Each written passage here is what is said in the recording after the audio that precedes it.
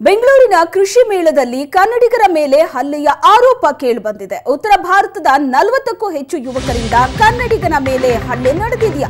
ಕನ್ನಡಿಗರ ಮೇಲೆ ರಾಡ್, ದಂಟ್ನೆ ಮತ್ತು ಕಲ್ಲಿನಿಂದ ಮಾರಣಾಂತಿಕ ಹಲ್ಲೆ ನಡೆದಿದೆ ಅನ್ನುವಂತಹ ಆರೋಪ ಕೇಳಿಬಂದಿದೆ. ಉತ್ತರ ಭಾರತದ ನಲವತ್ತಕ್ಕೂ ಹೆಚ್ಚು ಯುವಕರು ಕನ್ನಡಿಗರ ಮೇಲೆ ಹಲ್ಲೆ ಮಾಡಿದ್ದಾರೆ ಅನ್ನುವಂತಹ ಮಾಹಿತಿ ಸಿಗ್ತಾ ಇದೆ. ಕನ್ನಡಿಗರ ಮೇಲೆ ರಾಡ್ ಮತ್ತು ದೊಣ್ಣೆ ಕಲ್ಲಿನಿಂದ ಮಾರಣಾಂತಿಕ ಹಲ್ಲೆ ಮಾಡಲಾಗಿದೆಯಂತೆ.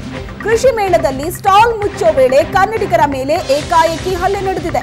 ಬೇಕಂತಲೇ ಕಿರಿಕ್ ಮಾಡಿ ಹಣ, ಚಿನ್ನ ಕಸಿದು ಹಲ್ಲೆ ಮಾಡಿ ಎಸ್ಕೇಪ್ ಆಗಿದ್ದಾರೆ ಖತರ್ನಾಕ್ಗಳು.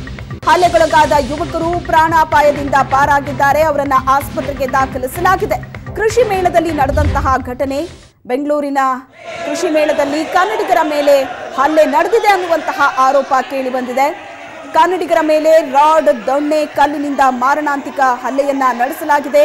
ಕೃಷಿ ಮೇಳದಲ್ಲಿ ಸ್ಟಾಲ್ ಮುಚ್ಚೋ ಸಂದರ್ಭದಲ್ಲಿ ಏಕಾಏಕಿ ಕನ್ನಡಿಗರ ಮೇಲೆ ಯುವಕರ ಗುಂಪೊಂದು ಹಲ್ಲೆ ಮಾಡಿದೆ. ಬೇಕು ಅಂತಲೇ ಕಿರಿಕ್ ಮಾಡಿ, ಹಣ, ಚಿನ್ನ ಕಸಿದು ಹಲ್ಲೆ ಮಾಡಿ ಎಸ್ಕೇಪ್ ಆಗಿದ್ದಾರೆ ಯುವಕರು. ಈ ಯುವಕರು ಉತ್ತರ ಭಾರತದ ಯುವಕರು ಅನ್ನೋದು ತಿಳಿದು ಬಂದಿದೆ ಕನ್ನಡ ಮಾತಾಡೋದು ಇಷ್ಟ ಇಲ್ಲ ಹೇಳ ಯಾರು ಹೊಡೆದಿದ್ದು ನಿನಗೆ? ಕನ್ನಡ ಜಸ್ಟ್ ಕನ್ನಡ ಮಾತಾಡೋಣ.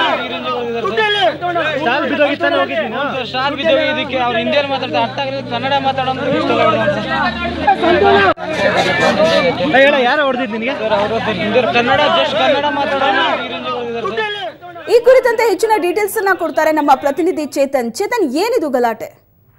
ಆ, ಶ್ವೇತಾ, ನಿನ್ನೆ ಏನು ಜಿ ಕೆ ವಿ ಕೆಯಲ್ಲಿ ನಡೆದಂತಹ ಕೃಷಿ ಮೇಳದಲ್ಲಿ ಈ ಒಂದು ಇನ್ಸಿಡೆಂಟ್ ನಡೆದಿರುವಂತದ್ದು ಇಲ್ಲಿ ಪ್ರಮುಖವಾಗಿ ಕನ್ನಡಿಗರ ಮೇಲೆ ಮಾರಣಾಂತಿಕ ಹಲ್ಲೆಯ ಆರೋಪ ಎದುರಾಗಿದೆ ಅಂದ್ರೆ ಅಲ್ಲಿ ಇಲ್ಲಿ ಬೇರೆ ಭಾಷಿಕರು ಅಂದ್ರೆ ಉತ್ತರ ಭಾರತದಿಂದ ಬಂದಂತಹ ಯುವಕರು ನಮ್ಮ ಕನ್ನಡಿಗರ ಮೇಲೆ ಹಲ್ಲೆ ಮಾಡಿದ್ದಾರೆ ಅನ್ನೋ ಒಂದು ಆರೋಪ ಕೇಳಿ ಬರ್ತಿರುವಂತದ್ದು. ಅಂದ್ರೆ ಈ ಕುರಿತಂತೆ ಇವಾಗ ಆಲ್ರೆಡಿ ಯಲಂಕ ಠಾಣಾ ಪೊಲೀಸರು ಪ್ರಕರಣವನ್ನ ದಾಖಲಿಸಿಕೊಂಡಿದ್ದಾರೆ. ಎಕ್ಸಾಕ್ಟ್ ಆಗಿ ಏನಾಯ್ತು ಅಲ್ಲೇನೋ ಅನ್ನೋದ್ರ ಬಗ್ಗೆ ತನಿಖೆಯನ್ನ ನಡೆಸ್ತಾರೆ. ಒಂದು ಮೂಲಗಳ ಪ್ರಕಾರ ಇಲ್ಲ, ಅಲ್ಲಿನ ಇರುವಂತಹ ಸ್ಥಳೀಯ ಯುವಕರು ಮತ್ತು ಸ್ಟಾಲ್ನ ಯುವಕರ ನಡುವೆ ಗಲಾಟೆ ಆಯಿತು ಸ್ಟಾಲ್ ವಿಚಾರಕ್ಕೆ ಅಂತ ಅಂದ್ಬಿಟ್ಟು ಸಹ ಹೇಳಲಾಗ್ತಾ ಇದೆ. ಈ, ಇದೇ ಕಾರಣಕ್ಕಾಗಿ ಎಲ್ಲಾ ಆಂಗಲ್ ಗಳಿಂದನೂ ಕೂಡ ಪೊಲೀಸರು ಒಂದು ತನಿಖೆಯನ್ನ ನಡೆಸ್ತಿರುವಂತದ್ದು ಸದ್ಯಕ್ಕೆ ನಾಲ್ಕರಿಂದ ಐದು ಜನ ಅಲ್ಲಿನ ಸ್ಥಳೀಯ ಯುವಕರ ಮೇಲೆ ಉತ್ತರ ಭಾರತದ ಯುವಕರು ಹಲ್ಲೆ ಮಾಡಿದ್ದಾರೆ ಅನ್ನೋದ್ರ ಬಗ್ಗೆ ಒಂದು ಆರೋಪ ಕೇಳಿ ಬರ್ತಾ ಇದೆ. ಸದ್ಯಕ್ಕೆ ಪ್ರಕರಣವನ್ನು ದಾಖಲಿಸಿಕೊಂಡಿದ್ದಾರೆ.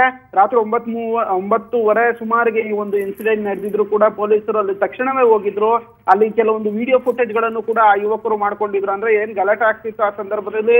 ಅಲ್ಲೇ ಇದ್ದಂತವ್ರು ಸಾಕಷ್ಟು ಜನ ಮೊಬೈಲ್ನಲ್ಲಿ ಒಂದು ವಿಡಿಯೋ ಮಾಡ್ಕೊಂಡಿದ್ರು ಆ ಒಂದು ವಿಡಿಯೋಗಳ ಪರಿಶೀಲನೆಯಲ್ಲೂ ಸಹ ಒಂದು ಪೊಲೀಸರು ನಡೆಸಿರುವಂತದ್ದು ಮತ್ತೆ ಇಲ್ಲಿ ಪ್ರಮುಖವಾಗಿ ಹಣಕಾಸಿನ ವಿಚಾರಕ್ಕೆ ಗಲಾಟೆ ಆಗಿದ್ರು ಆಗಿರೋದಂತೂ ಕನ್ಫರ್ಮ್ ಯಾರು ಯಾರಿಗೆ ಹೊಡೆದ್ರು ಅನ್ನೋದನ್ನ ತನಿಖೆಯಿಂದಷ್ಟೇ ಗೊತ್ತಾಗ್ಬೇಕಾಗತ್ತೆ. ಮತ್ತೆ ಪರಸ್ಪರ ಇಬ್ರು ಕೂಡ ಹೊಡೆದಾಡ್ಕೊಂಡಿದ್ದಾರೆ ಅನ್ನೋದ್ರ ಬಗ್ಗೆನೂ ಕೂಡ ಇನ್ಫಾರ್ಮೇಶನ್ ಇದೆ. ಎಲ್ಲ ಉತ್ತರವೂ ಕೂಡ ತನಿಖೆಯಿಂದಷ್ಟೇ ಗೊತ್ತಾಗ್ಬೇಕಾಗತ್ತೆ ಶ್ವೇತಾ.